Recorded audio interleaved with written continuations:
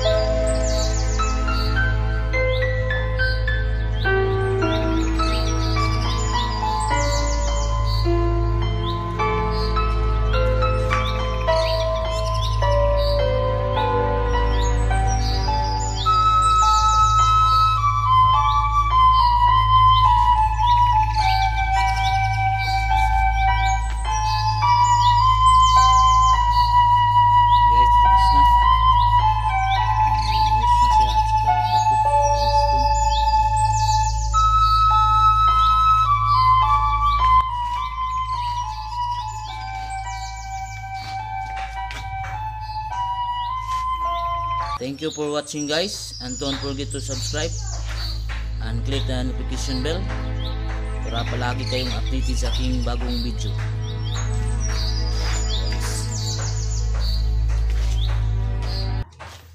Yan ang coconut bonsai. Salamat!